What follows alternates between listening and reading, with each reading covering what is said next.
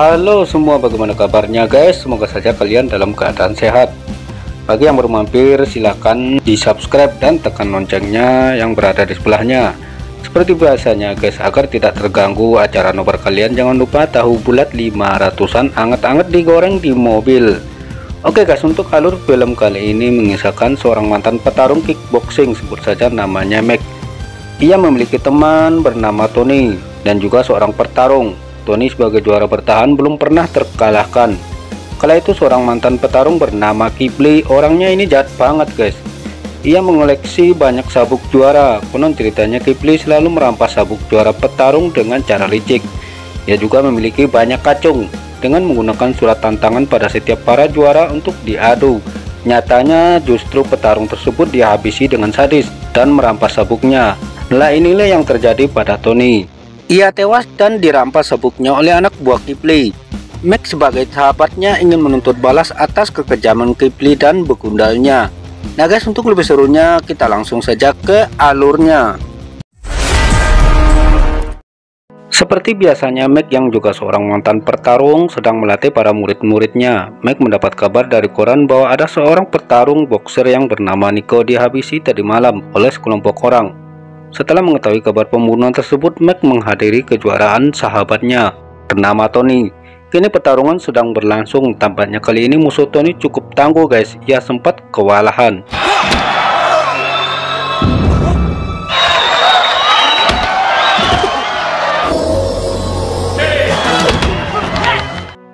Tony yang sempat jatuh berkali-kali setelah disemangatin Mac ia bangkit dan mengalahkan lawannya dengan KO. Di ruang ganti Tony dan Mac ditemui seseorang yang berambut gondrong, sebut saja namanya si Cingor.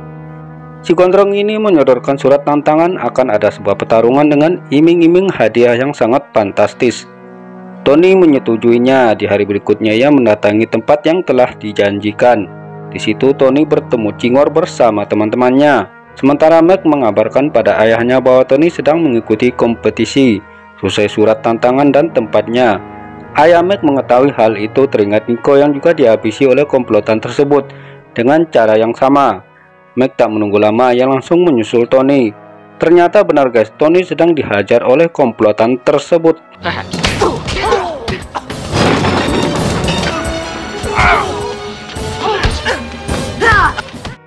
Di saat Tony dikeroyok, Mac pun muncul dan langsung menghajar orang-orang yang menganiaya Tony.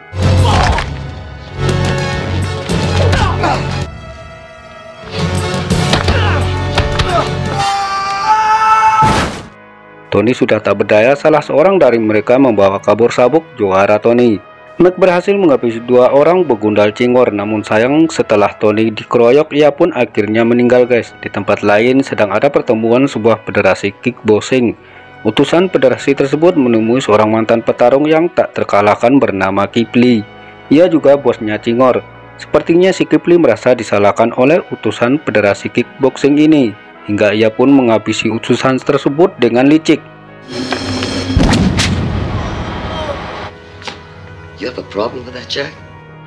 Setelah kematian dua anak buah Kipli, oleh Mac ia menyuruh orang kepercayaannya untuk menyewa orang yang sanggup menghabisi Mac. Orang tersebut bernama Jack dan berada di dalam penjara.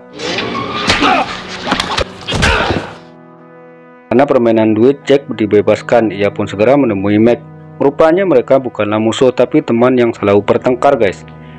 Jack yang dibayar untuk membunuh Mac justru uangnya dipakai untuk tiket pesawat pulang kampung ke Afrika. Mereka kembali bertemu di pesawat karena satu tujuan. Setiba di bandara, Jack tak mau Mac bersamanya. Ia mendorong Mac ke pintu luar. Jack ditemui Cingot dan para gundalnya. Karena Jack tak mau bekerja sama dengannya, maka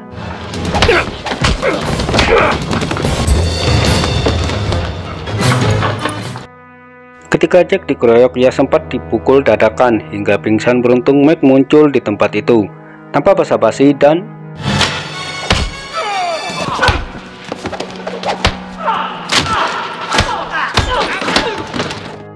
Setelah menghabisi orang-orang tersebut, Mac dan Jack berpisah. Mac menuju ke tempat penginapan. Tak jauh dari tempat itu ada seseorang yang mengawasinya.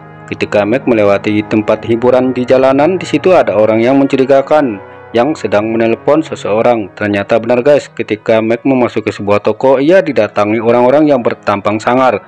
Mac tahu ia pun tak tinggal diam.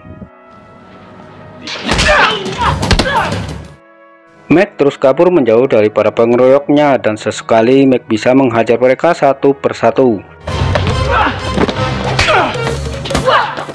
Mac kembali menjauh dan tibalah di sebuah bangunan kosong, namun dia terkepung dan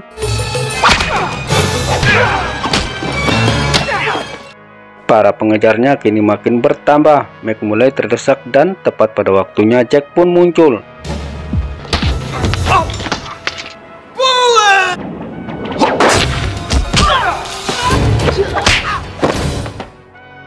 Kedua petarung ini sanggup mengalahkan para pengeroyoknya. Ketika mereka berjalan di trotoar, tiba-tiba polisi menangkapnya atas tuduhan membuat kekacauan di sebuah toko.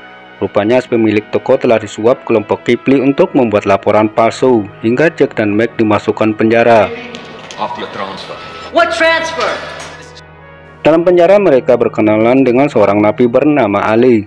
Menurut informasinya mereka bisa keluar bila sanggup membayar salah seorang sipir dengan mahal. Itu pun dilakukan Jack hingga ketiganya bisa keluar dan diantarkan jauh ke luar kota. Mereka berpisah namun tak lama kemudian polisi memburu Jack dan Mac dengan anjing pelacak.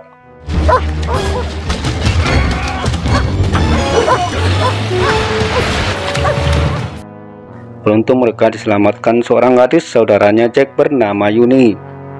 Sementara Kipling mendengar keduanya lolos dari penjara, ia malah menghabisi salah seorang anak buahnya.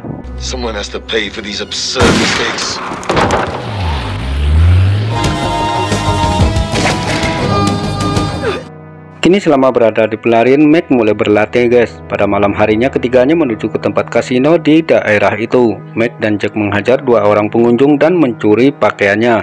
Keduanya dengan bebas memasuki tempat kasino. Ketika itu Jack mengetahui bahwa Kipli dan pengawalnya berada di situ. Jack menarik salah seorang pengawalnya dan menantangnya untuk berduel. Sementara Mac malah ikut main kasino.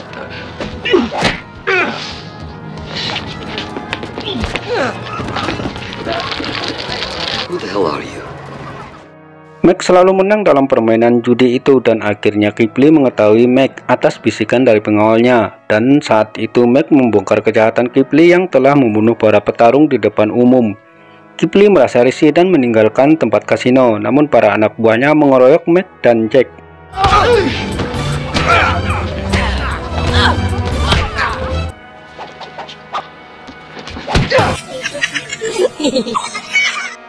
Semua para kroco Kipli keok di tangan Mac dan Jack. Setelah menghabisi musuhnya, Mac justru mendatangi tempat Kipli dan menantang mantan petarung kickboxer ini.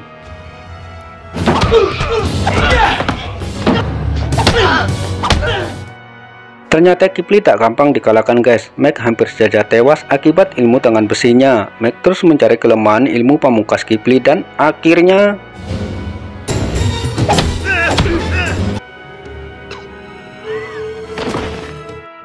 Kipli roboh seketika Mac coba mengambil kembali sabuk juaranya Tony. Namun Kipli mengancam dengan senjata tongkat besi.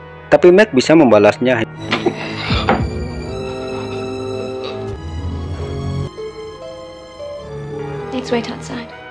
Dan mengambil kembali sabuk juara di tangan Kipli yang sudah tewas.